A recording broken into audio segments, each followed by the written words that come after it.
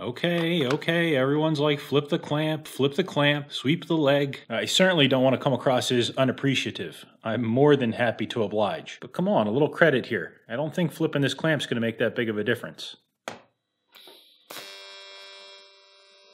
Well, I'll be damned. So, with your help, I found the problem. At least a big part of the problem. The scope wasn't fried, my clamp isn't toast, it's not a tumor. It was a short circuit in my setup, right smack between my ears. I was, in fact, in the wrong current range for the clamp. And yes, I feel like an idiot. In my defense, though, I never read the manual. I don't think I've ever used this clamp with anything more than three, maybe four amps tops. Even that sounds like a lot. I just assumed a 65 amp clamp was a 65 amp clamp. And I was in the 1 millivolt per 10 milliamp range because I wanted more resolution on the scope. At 1 millivolt per 100 milliamps, if this thing maxes out at 65 amps, well, I can't see as much on the display. My setup is also a little bit different. Being a good scientist, I changed a lot of things at once. Now the current path is no longer through the bench, it's going through that 3 8 inch rod there. Ground clamp is on one end, and I've got tungsten pushed into the other end. So I've got the arc jumping between two points instead of going between the point on the torch and the flat of the workbench. No clue if that actually makes any difference. But there were some really interesting comments in the last video about having inadvertently created some sort of a diode setup, something that may have given preference to current flow in one direction as opposed to the other direction. And my scope is also up off the bench on some genuine IKEA RF attenuators. The waveform still isn't exactly what I was expecting. I mean, I wasn't expecting a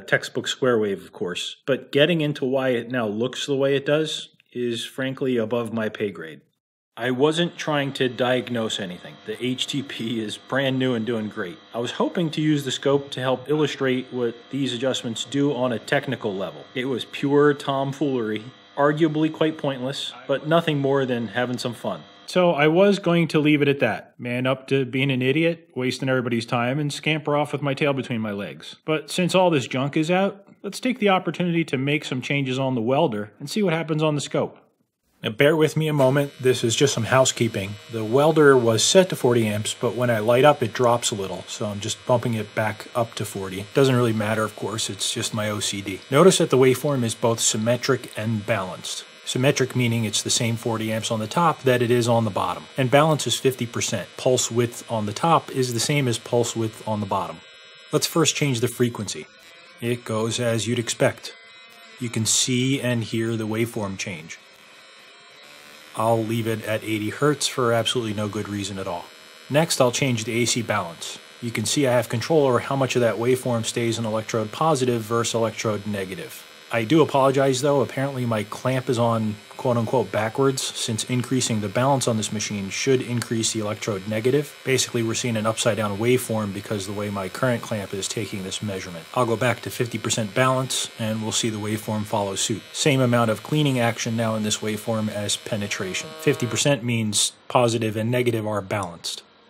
And finally, the holy grail of what I was after, symmetry control. The HTP adjusts symmetry independently, so you'll first see EN dash or EN negative show up on the menu for electrode negative. Again, my clamp is the wrong way around, so you're about to see the top of the waveform come down instead of the bottom come up. I just can't seem to do anything right. Now, I'm not sure why those leading and trailing peaks aren't coming down but you can see the mean current level on the top is being independently controlled. The current level on the bottom is still 40 amps, and I'm adjusting the top side, dropping the amperage. If I toggle over to the electrode positive half, you'll see ENP appear on the display, which now gives me control over the other half. In this case, the HTP221 allows me to adjust from 10% to 90% of the machine set current. And finally, one last shot, have a look at my electrodes. Just that small amount of time pushing a heavy electrode positive current, and at 40 amps no less, my very sharp tungstens have balled up. Anyway, that's all I got. Sorry again for the roller coaster ride, and thanks for watching.